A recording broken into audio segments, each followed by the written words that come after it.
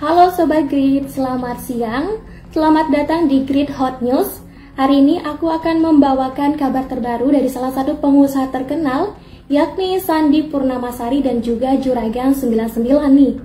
Sandi Purnamasari nyatakan akan berpisah dengan Juragan 99. Wah, kira-kira apa ya alasannya? Yuk kita kulik lebih dalam.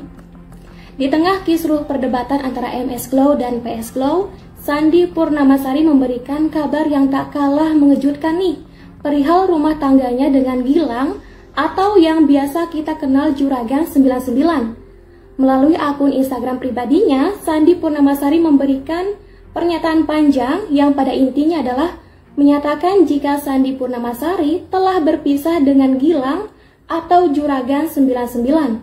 Nah, kabar ini tentu sangat mengejutkan banyak pihak, terutama para pengikutnya dan juga orang-orang terdekat, bahkan kita semua ya Sobat Grid. Sandi juga menuliskan dan juga berharap dari perpisahannya ini dengan sang suami tidak akan mengecewakan pengikut dan orang-orang terdekatnya. Dalam tulisan pernyataan di Instagramnya juga, Sandi Purnamasari menjelaskan bahwa hubungan keduanya akan baik-baik saja demi kepentingan kedua anaknya. Nah, ditinjau dari keterangannya, Ternyata Sandi Purnamasari sudah lama memikirkan untuk berpisah dengan Juragan 99. Dan baru saat ini Sandi berani untuk mengungkapkannya ke publik. Nah, aku akan bacakan keterangan yang diunggah oleh Sandi Purnamasari di akun Instagram pribadinya.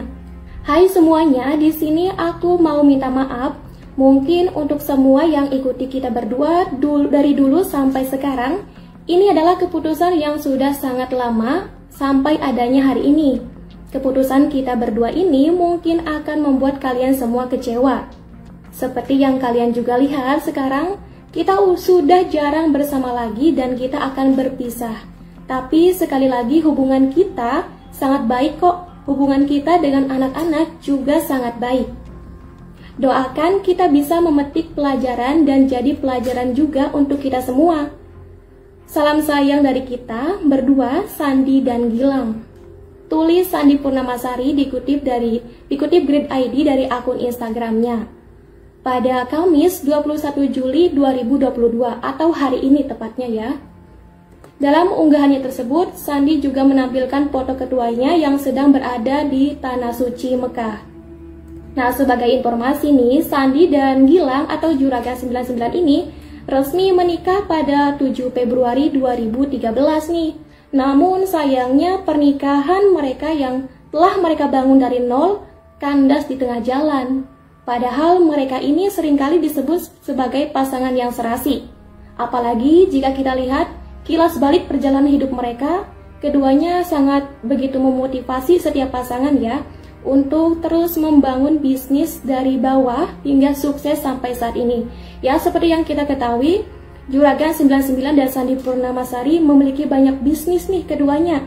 Mereka juga saling support untuk membangun bisnis mereka masing-masing. Nah, kabar ini tentunya e, membuat publik terkejut ya, karena selama ini keduanya juga selalu menunjukkan hubungan yang romantis dan juga harmonis nih mereka juga selalu mendukung satu sama lain. Bahkan mereka juga baru saja melakukan ibadah haji bersama di Tanah Suci e, bulan haji tahun ini.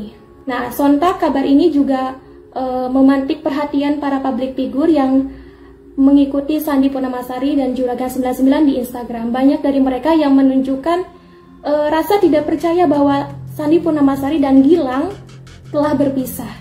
Selain itu juga banyak netizen yang menyerbu uh, unggahan dari uh, Sandi Purnamasari karena mereka begitu menyayangkan pernikahan antara Sandi dan Purnamasari yang telah dibangun sejak mereka dari bawah hingga sukses saat ini. Nah, kalau menurut Sobat Grid gimana sih tanggapannya mengenai Sandi Purnamasari yang mengumumkan perpisahannya dengan uh, Gilang atau Juragan 99 ini? Apakah Sobat Grid merasa terkejut atau mungkin ada tanggapan lain nih mengenai uh, kabar terbaru dari Sandi dan juga Juragan 99 ini. Terlepas dari permasalahan mereka berdua, Grid ID uh, mendoakan yang terbaik untuk hubungan pernikahan antara Sandi dan Juragan 99 nih. Semoga semua masalah keduanya bisa diselesaikan secara baik-baik dan tanpa ada salah satu pihak yang merasa tersakiti. Melihat dari perjalanan hidup mereka tentunya uh, banyak kabar dari media juga mereka tuh sama-sama uh, saling mendukung sekalau setiap ada masalah gitu kan. Semoga masalah keduanya, masalah di pernikahan mereka berdua ini uh, tetap bisa diselesaikan secara baik-baik dan tanpa mengorbankan eh, anak-anak uh, mereka yang masih di usia yang sangat kecil. Hingga detik ini belum ada juga keterangan lebih lanjut mengenai alasan Sandi Purnamasari memutuskan untuk berpisah dengan Juragan 99. Kira-kira kenapa ya mereka eh, tiba-tiba memutuskan untuk berpisah? Nah, Sobat Krit, tetap ikuti perkembangan terbaru mengenai kabar perpisahan antara Sandi Purnamasari dan juga Gilang atau Juragan 99 ataupun kabar selebritis lainnya hanya di Grid ID. Kami akan infokan kembali mengenai kabar antara Sandi Purnamasari dan Gilang melanjutkan pernyataan, pernyataan ini ke meja hijau yakni persidangan. Tentunya itu akan kami memberikan kabar selanjutnya di Great Hot News selanjutnya.